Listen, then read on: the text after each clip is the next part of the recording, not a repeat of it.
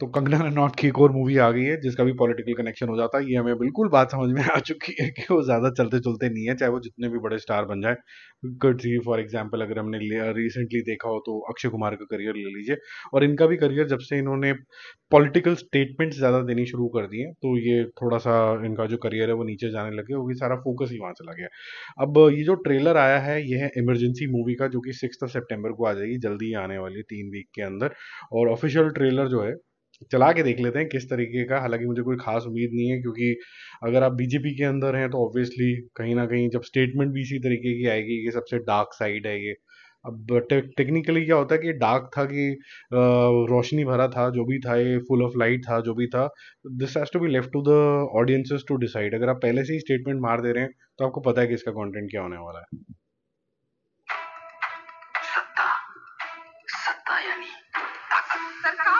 चुनिए जो आपके लिए कड़े निर्णय ले सके जिसमें काम सत्ता होती है वो कहलाता है शासक। इंदिरा गांधी ने असम जाकर उसे भी कश्मीर बनने से बचा दिया पहले तो तुम मुझसे सीखा करती थी मगर अब सिखाना चाहती हो।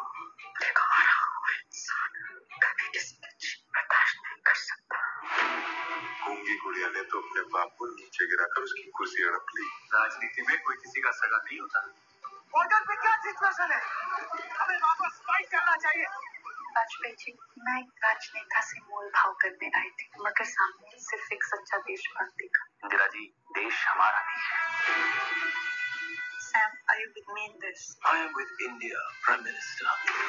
You have effectively declared war on Pakistan. You should have rethought this decision. You have weaponry. We have courage. That's all it takes. India बोलने लगी है शिमला अग्रीमेंट तो भारत की बहुत बड़ी हार है यही होता है जब कोई व्यक्ति देश सेवा के लिए नहीं सत्ता के लिए लड़ता है अभी सबकी नज़र आपकी कुर्सी पर है कि कब आप कुर्सी से गिरे और ये लपक अनुपम खेर भी मतलब हद हो चुका है रास्ता है संपूर्ण क्रांति।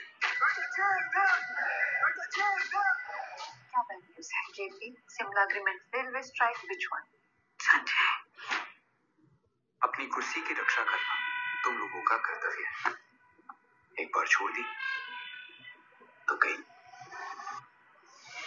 ये देश एक खुली जेल बन जाएगा। पूरी कैदियों की सहमति आवश्यक होती है इंदिरा जी। मैं ही कैबिनेट आज से सब कोच बंद। अखबार ऑफ़िस प्रिंटिंग प्रेसेस सबकी बिजली काट दो इसने सोचा था कि लोकतंत्र का ऐसे कला उठेगा हर आवाज़ जो उसके खिलाफ उठेगी कुचलती जाएगी। आपातकाल भारत के लोकतंत्र पे काला धब्बा है सारे देश में तुम्हारे खिलाफ नफरत का माहौल पैदा होता जा रहा है नफरत नफरत नफरत और मिला क्या है इस देश से तुम जानते हो कि हमारी पार्टी को क्या चाहिए पार्टी पार्टी वोट चाहिए ते सानू चाहिए है Khalistan.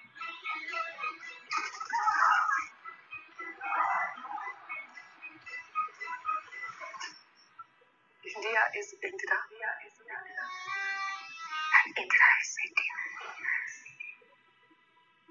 Netflix पे आएगी ये। देखो ट्रेलर इतना बुरा नहीं है टू बी वेरी ऑनेस्ट अगर आपको इंटरेस्ट है पॉलिटिकल अफेयर्स के अंदर अगर आपको इंटरेस्ट है कि देश में जो कुछ भी हुआ था क्या था अब इसमें क्वेश्चन सिर्फ़ यही आता है कि कितना वेल रिसर्च होगा ये। ये क्वेश्चन मार्क हमेशा डाउट थोड़ा सा रहता है क्योंकि अगर आप ऑपोजिशन पार्टी के अंदर हैं और जो रूलिंग पार्टी है वो अगर आप अपोज आप आप अगर ऐसे हो, हो जाएँ कि जो रूलिंग पार्टी में हैं तो जो जो अपोजिट साइड में है यानी कि कांग्रेस जो अपोजिट साइड के अंदर है वो इतनी इन्फॉर्मेशन कितनी ट्रांसपेरेंटली देगी? ये वही सब चीज़ें हैं जो कहीं ना कहीं लिखी हुई होंगी उसको दोबारा से प्रस्तुत किया जा रहा है। मोटे मोटे लेवल पे ऐसा लग रहा है। लेकिन कुछ चीज़ें बहुत इंटरेस्टिंग है कि संजय गांधी का क्या रोल था खालिस्तान का डिमांड कहाँ से ओरिजिन हुआ था क्या आ, उनका क्या रोल था इसके अंदर? तो ये सारी जो चीज़ें हैं यहाँ पर दिखाई जा रही हैं। अब कितना सच है कितना झूठ है ये तो भगवान को ही पता होगा क्योंकि पॉलिटिशियंस तो देखो कभी सच बोलते नहीं है, मेरा तो यही मानना है। कहीं ना कहीं कुछ ना कुछ एक एजेंट हिडन एजेंडा होता ही है। बहुत कम है ऐसे पॉलिटिशियन जो ट्रूली रिस्पेक्टेड होते हैं, जैसे मैं बहुत ज़्यादा रिस्पेक्ट करता हूँ अटल बिहारी वाजपेयी साहब की। उनकी स्पीचेस के अंदर, उनके बात करने के ढंग से एक बड़ी कंसिस्टेंसी थी कि एक जैसे बड़े बुज़ुर्ग होते हैं किसी फैमिली के, उसी तरीके से ही use to behave as a when he was a prime minister as a head of the country and trying to take right decision for the country तो इस तरीके का थोड़ा सा बिहेवियर लगता था but otherwise everything else is farce कोई कुछ भी बोल देता है और फिर हम कोशिश करते हैं कि हमारे अच्छे दिन आएँगे, आते तो है नहीं टैक्सेस लग जाते हैं बस। आपको कैसे लगा वैसे ये ट्रे, ट्रेलर इतना बुरा नहीं है एक्टिंग भी कंगना की ठीक लग रही है जो चीज़ें अच्छी हैं वो अच्छी हैं और इंटेंसिटी भी काफ़ी ज़्यादा लग रही है जिनको इंटरेस्ट है इस तरीके की मूवी में। मैं एक चीज़ प्लस पॉइंट बोल सकता हूँ इस मूवी के बारे में जितनी भी ऐसी पॉलिटिकल मूवी बनती है जिनका कुछ एजेंडा होता है उसकी प्रोडक्शन क्वालिटी हमेशा थोड़ी सी इन्फीरियर रही है अभी तक। कोई बहुत ज़्यादा टॉप नॉच नहीं होती इवन कश्मीर फाइल्स भी ओकेश जोन के अंदर थी। इसकी प्रोडक्शन क्वालिटी ठीक लग रही है। इसमें स्केल और ये सब जो बातें देश की बड़ी बड़ी हो रही हैं और बहुत लोग दिखने चाहिए, वो सब चीज़ें इसके अंदर दिख रही हैं। तो उसके लिए जो चीज़ ठीक है, उसके लिए थम्सअप कितनी रिसर्च होगी वो एक क्वेश्चन मार्क है, वो टाइम बता सकता है या फिर कोई ऐसा इंसान जो जेनविनली थोड़ा सा पॉलिटिकल अफेयर्स के बारे में जानता है, वो डिटेल आउट करके कमेंट करके हमें बता दे कि भाई ये चीज़ एक्चुअली में हुई थी, फिर जब मूवी आएगी तो मैच करा लेंगे उसको। Bye bye